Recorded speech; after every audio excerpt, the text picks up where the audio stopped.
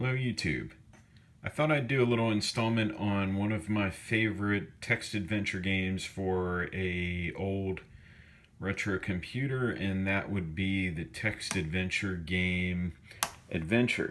So let's fire up this old Altair 8800 clone here. Uh, here we go. Um, this machine is one of my earlier computing projects before I uh, designed the PE6502. This is a clone of the Briel computers. Um, I think it's called an a Briel Micro or a Briel Altair Micro. Um, unfortunately, they don't sell them anymore. Um, uh, but that computer itself is a clone of the Altair 8800. Um, anyways, um, and one of the things that this uh, computer can play is the game Adventure, um, also known as Colossal Cave Adventure, and sometimes people just call it Advent um, because I think the original game, that's how it was um, listed in a directory uh, listing. I think it may have even been packed in in some early versions of BSD. Um, before that, I mean, it began life on a PDP-10 mainframe computer. So originally in 1976, a guy named um, William Crowther, um, who himself was a cave explorer, um, he coded it. Uh, I guess he was getting a divorce from his wife, and he missed his kids, and he used to uh, he used to cave on the uh, Bedquilt section of. Um, gosh, I forget what it was called. I think it was just called Colossal Caves in Kentucky, and um, he was a uh, caver with his wife, uh, Patricia Crowther, who I think discovered like a connection um, from this um, this uh, matrix of caves to another well-known cave um, grouping. And uh, anyways, when they got divorced, and I think she was still caving with her new boyfriend, and it was just kind of a weird deal for him. So he sort of gave up um, caving at the same place, but he was one of the early um, developers of the ARPANET, which is kind of the grandfather of today's internet as we know it today. And on some of the computers that were at his work, um, PDP-10 mainframes, he coded this game. Um, in 1970, that was in 1976. In 1977, it was expanded by a guy named Don Woods, and this game became uh, the first of the genre of computer text adventure games. Um, really interesting. It's got a simple parser um, as being it's the first game. I mean, this parser is not as complex as the later um, developed parser in the game Zork, uh, which one of the guys that, uh, one of the four guys that made Zork was greatly inspired by this game. Uh, they wanted to make one just like it. So they had a more complex parser. This parser uh, can just take one or two words, and for each word, it only reads five characters. Um, but within uh, those constraints, they managed to uh, make a heck of a game. They said um, in Tracy Kidder's Pulitzer-winning book, The Soul of a New Machine, um, he said when this game came out, it sort of set the, the entire computer industry um, back a couple of weeks because everyone stopped doing useful work and just started playing this game. There's nothing uh, like it ever seen before. So I'm kind of cheating, um, and I printed out a maze, um, or a map, I should say, um, for this game. And I won't give too much of it away, but I just think it's really neat that you can um, you can play the actual game. Um, can get more information within the game, I think, by typing info. Let's actually, let's try that.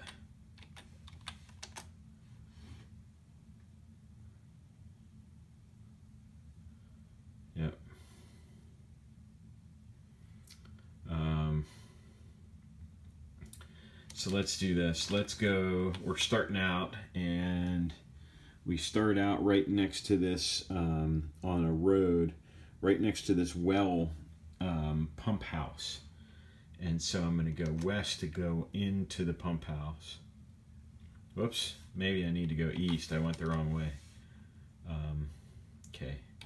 Incidentally, you can play this online. Um, there's an online version. Um, I'll add a couple of links to the description. Um, one of them to the Wikipedia write-up, which is pretty awesome. There's another really good page that pretty much covers all the history of this game um, and uh, includes on that page a link for playing this game online.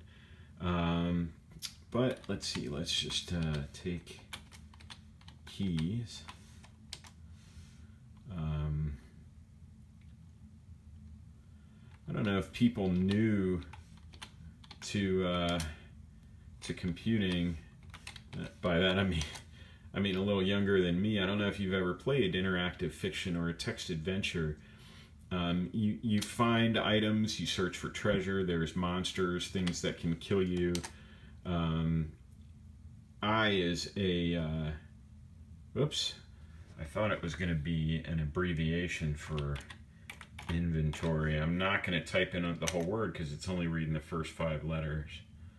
But inventory will show you what we're carrying. We need this brass lantern because it's going to provide light. We can, we'll grab the rest of the stuff uh, that's in this pump building later. Um, but let's, yeah, let's get out of here.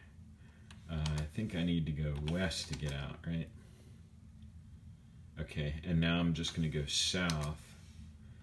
And if you want to figure out this whole thing, you should probably stop watching now because there'll be a few spoilers here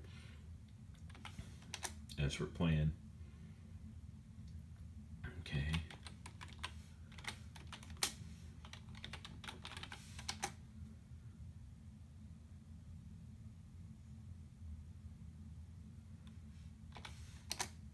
I'm abbreviating S for south, D for down, U for up. Um, you can also do the, um, you can do all eight compass directions, so north, south, east, west, of course, but then like southwest, northeast, etc. Um, okay, so we're in, now we're, I'm just going to keep going west here.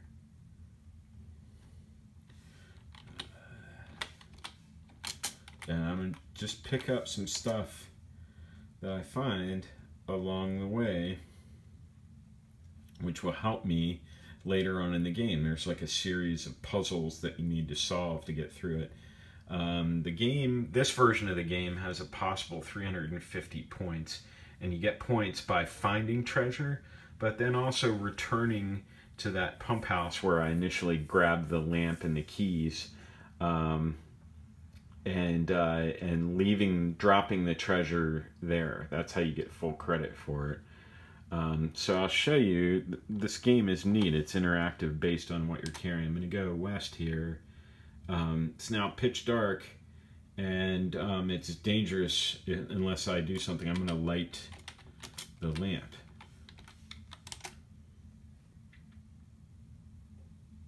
So now I can make it further. I mean, it was that's one of the very first puzzles from the game. If you don't take the lamp from the pump house, uh, you won't be able to proceed. Um, and then this is kind of cool, and, and this will just be the last sort of secret I'll give away from the game, and then I won't really uh, give any more away so you can play it yourself. But um, there's this magic word here. Um, I guess it, you would pronounce it Zizzy, or I don't know. But if you just type in um, X, Y, Z, Z, Y. Now we go back to the pump house, right? And so this is a shortcut that's taking us, um, see the pump house, and then see on the map that dotted line, ZY, x y z z y. Um, that's coming from uh, a different room inside this um, series of caves. I've also heard that this um, the structure of this game um, it's one of the first of many that repeated that followed um, the same kind of structure where you basically start outside in the outside world and then the entire game is basically in a series of underground uh, dungeons or whatever or uh, caverns or an underground maze. Um, so anyways uh, that's it for me. I'm gonna quit playing here show you how the LEDs update when you uh, when the computer is actually doing something.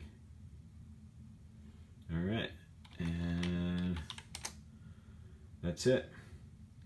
All right, kind of a quick little update here on one game uh, that's available for this old retro computer and uh, thank you for watching and tune in next time we'll talk about something else that uh, I find neat and hopefully you find it neat too. All right, I'll talk to you later.